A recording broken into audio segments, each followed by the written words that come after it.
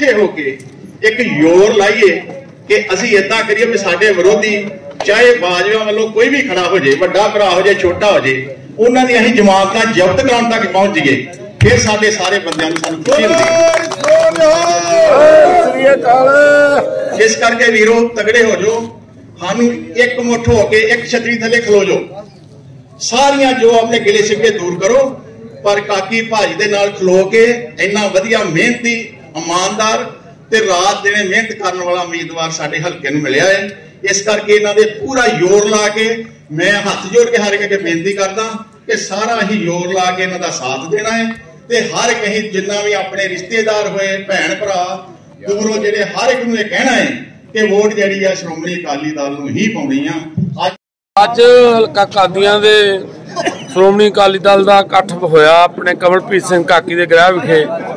ਜਿਹਦੇ ਵਿੱਚ ਇਲਾਕੇ ਦੇ ਸਮੂਹ ਅਕਾਲੀ ਦਲ ਦੇ ਅਹੁਦੇਦਾਰ, ਸਰਪੰਚ ਪੰਚ ਸਾਰੇ ਅਹੁਦੇਦਾਰ ਪਹੁੰਚੇ ਨੇ, ਜਿਹਦੇ ਵਿੱਚ ਆਉਣ ਵਾਲੀ ਇਲੈਕਸ਼ਨ ਤੇ ਵਿਚਾਰ ਵਟਾਂਦਰੇ ਹੋਏ ਨੇ ਤੇ ਵਰਕਰਾਂ ਨੂੰ ਤਗੜੇ ਹੋ ਕੇ ਵਿਚਰਨ ਵਾਸਤੇ ਕਾਕੀ ਨੇ ਪ੍ਰੇਰਿਤ ਕੀਤਾ ਤੇ ਵਰਕਰਾਂ ਦੇ ਵਿੱਚ ਕਾਫੀ ਹੌਸਲਾ ਵਧਾਈ ਹੋਈ ਆ ਕਿ ਟਿਕਟ ਜਿਹੜੀ ਆ ਕਮਲਪ੍ਰੀਤ ਸਿੰਘ ਕਾਕੀ ਦੇ ਹੱਕ 'ਚ ਆਉਣ ਵਾਲੀ ਆ ਤੇ ਵਰਕਰ ਇਸ ਗੱਲ 'ਚ ਬਹੁਤ ਖੁਸ਼ ਨੇ ਪਾਰਟੀ ਦਾ ਅਸੀਂ ਧੰਨਵਾਦ ਕਰਦੇ ਹਾਂ ਕਿ ਉਹਨਾਂ ਨੇ ਕਮਲਪ੍ਰੀਤ ਸਿੰਘ ਕਾਕੀ ਦੀ ਪਿੱਠ ਤੇ ਹੱਥ ਰੱਖਿਆ ਤੇ ਵਰਕਰ ਇਸ ਗੱਲ ਦੇ ਵਿੱਚ ਬਹੁਤ ਖੁਸ਼ ਨੇ।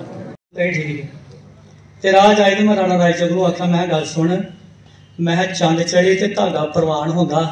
ਤਾਂ ਅੱਜ ਦਾ ਸਰੋਪਾ ਤੇ ਅੱਜ ਦਾ ਕੀਤਾ ਮੂੰਹ ਮਿੱਠਾ ਕਦੀ ਕਾਕੀ ਨੂੰ ਨਹੀਂ ਜੇ ਭੁੱਲਣਾ। ਤੇ ਮੈਂ ਕਿਹਾ, ਉਹਦਾ ਮੂੰਹ ਮਿੱਠਾ ਕਰਾ ਲਓ। ਕਿਉਂਕਿ ਸਾਨੂੰ ਤੇ ਸ਼ੱਕ ਕੋਈ ਨਹੀਂ। ਸਾਨੂੰ ਤੇ ਕੋਈ ਅਜੇ ਵੀ ਜਿਹੜੇ ਨਹੀਂ ਆਏ, ਉਹਨੂੰ ਸ਼ੱਕ ਜੇ। ਜਿਹੜੇ ਨਹੀਂ ਆਏ, ਉਹਨਾਂ ਨੇ ਬਗੈਰ ਗਿਆ ਕਿਹਾ ਤੋਂ ਆਉਣਾ ਜੀ? ਔਰ ਮੈਂ ਇੱਕ ਗੱਲ ਮੈਂ ਇੱਕ ਗੱਲ ਕਾਕੀ ਜੀ, ਮੇਰੀ ਯਾਦ ਰੱਖਿਓ, ਮੈਂ ਤੁਹਾਨੂੰ ਤੁਹਾਡੇ ਨਾਲ ਚ ਆਵਾਂ। ਕਿ ਕੁਝ ਕਿ ਇਹੋ ਜਿਹੇ ਵੀ ਵਿਚਾਰੇ ਹੈ ਨੇ। ਕੁਝ ਕਿ ਇਹੋ ਜਿਹੇ ਵੀ ਵਿਚਾਰੇ ਹੈ ਨੇ ਜਿਨ੍ਹਾਂ ਨੂੰ ਨਹੀਂ ਉਹਨਾਂ ਨੂੰ ਆਪਣੀ ਪਾਰਟੀ ਨਾਲ ਪਿਆਰ ਆ। ਉਹਨਾਂ ਨੂੰ ਤਕੜੀ ਨਾਲ ਪਿਆਰ ਆ। ਉਹਨਾਂ ਨੂੰ ਪੰਥ ਨਾਲ ਪਿਆਰ ਆ। ਇਹੋ ਜਿਹੇ ਬੰਦਿਆਂ ਨੂੰ ਨਿਗਾਹ 'ਚ ਰੱਖੀ। ਜੇ ਉਹ ਬੰਦੇ ਕਿਸੇ ਦੂਜੇ ਗਰੁੱਪ 'ਚੋਂ ਵੀ ਆਉਂਦੇ ਆ ਤੇ ਉਹਨਾਂ ਨੂੰ ਘੁੱਟ ਕੇ ਜੱਫੀ ਪਾਈ ਤੇ ਉਹਨਾਂ ਦੀ ਨਿਗਾਹ 'ਚ ਨਿਗਾਹ ਪਛਾਣੀ ਕਿ ਨਹੀਂ ਯਾਰ ਇਹ ਪੰਥ ਦੇ ਵਫਾਦਾਰ ਨੇ, ਕਿਸੇ ਬੰਦੇ ਦੇ ਵਫਾਦਾਰ ਨਹੀਂ। ਜੇ ਅਵਲਪ੍ਰੀਤ ਸਿੰਘ ਕਾਕੀ ਦੇ ਘਰ ਜੋ ਬੜੀ ਵੱਡੀ ਮੀਟਿੰਗ ਉਹਦੇ ਵਰਕਰਾਂ ਦੀ ਕੀਤੀ ਆ, ਕਾਕੀ ਇੱਕ ਬੜਾ ਮਿਹਨਤੀ ਆ, ਕਾਫੀ ਸਮੇਂ ਤੋਂ ਹਲਕੇ ਦੇ ਵਿੱਚ ਬੜਾ ਲੋਕਾਂ ਨਾਲ ਵਿਚਰ ਕੇ ਕੰਮ ਕਰ ਰਿਹਾ। ਤੇ ਇਹਨੇ ਸਾਰੀਆਂ ਪਾਰਟੀਆਂ ਵਿੱਚ ਰਹਿ ਕੇ ਬੜਾ ਤਨਦੀ ਨਾਲ ਕੰਮ ਕੀਤਾ, ਲੋਕਾਂ ਨਾਲ ਵਿਚਰਨ ਦੇ ਵੇਚਣ ਦਾ ਇਹਨੂੰ ਚੰਗੀ ਤਰ੍ਹਾਂ ਆਪਣੇ ਵਰਕਰਾਂ ਦੀ ਨਬਜ ਪਛਾਣਨ ਦੀ ਵੀ ਜਾਂਚ ਵਾ। ਤੇ ਵਰਕਰਾਂ ਨੇ ਇਹਦੇ ਉਹ ਇਹਦਾ ਉਤਸ਼ਾਹ ਵਧਾਇਆ, ਅੱਜ ਵਰਕਰ ਬੜੀ ਵੱਡੀ ਗਿਣਤੀ ਦੇ ਘਰ ਆਏ ਆ। ਤੇ ਹਾਈ ਕਮਾਂਡ ਜਿਹੜੀ ਆ, ਉਹਦੇ ਵੱਲੋਂ ਵੀ ਇਹਨੂੰ ਥਾਪੜਾ ਲਗਭਗ ਮਿਲ ਗਿਆ ਤੇ ਬੜੇ ਤਗੜੇ ਉਦਮ ਦੇ ਨਾਲ ਇਹ ਹਲਕੇ 'ਚ ਵੇਚਣ ਵਾਸਤੇ ਆਪਣੇ ਸਾਥੀਆਂ ਨਾਲ ਅੱਜ ਤੋਂ ਮੀਟਿੰਗਾਂ ਸ਼ੁਰੂ ਕਰ ਰਿਹਾ।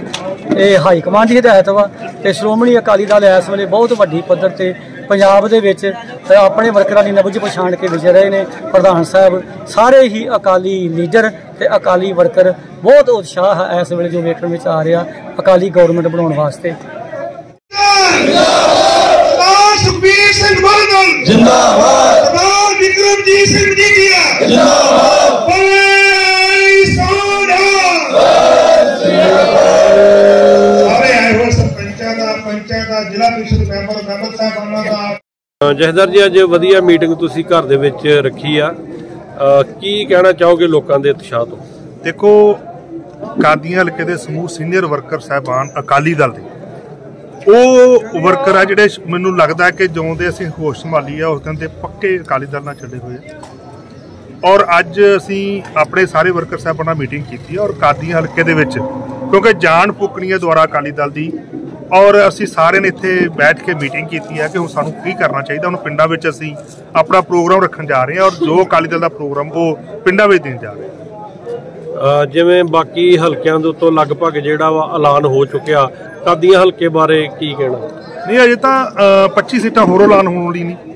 ਔਰ ਜੋ ਪਾਰਟੀ ਪ੍ਰਧਾਨ ਸਰਦਾਰ ਸੁਖਬੀਰ ਸਿੰਘ ਬਾਦਲ ਜੀ ਸਰਦਾਰ ਵਿਕਰਮਜੀਤ ਸਿੰਘ ਮਜੀਠੀਆ ਜੀ ਜੋ ਫੈਸਲਾ ਕਰਨਗੇ ਕਿ ਕੋਈ ਕੋਰ ਕਮੇਟੀ ਤੇ ਅਕਾਲੀ ਦਲ ਇੱਕ ਇਹੋ ਜੀ ਪਾਰਟੀ ਹੈ ਜਿਹੜੀ ਲੋਕਾਂ ਨੂੰ ਸਾਰੇ ਵਰਕਰਾਂ ਨੂੰ ਨਾਲ ਲੈ ਕੇ ਪੁੱਛ ਕੇ ਜਿਹੜਾ ਫੈਸਲਾ ਕਰਨਾ। ਮੌਜੂਦਾ ਪੰਜਾਬ ਦੀ ਰਾਜਨੀਤੀ ਬਾਰੇ ਦੋ ਸ਼ਬਦ। ਦੇਖੋ ਮੌਜੂਦਾ ਪੰਜਾਬ ਚੰਨੀ ਸਾਹਿਬ ਤਾਂ ਤੁਸੀਂ ਦੇਖ ਹੀ ਰਹੇ ਹੋ।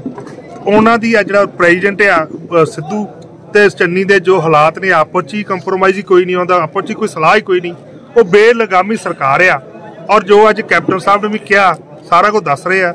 ਉਹ ਵੀ ਆਪਣੀ ਵੇਖੋ ਆਪਣੀ ਪਾਰਟੀ ਬਣਾ ਰਿਹਾ ਕਾਂਗਰਸ ਦਾ ਤਾਂ ਬੇੜਾ ਗਰਕ ਜਿਹੜਾ ਹੋ ਰਿਹਾ।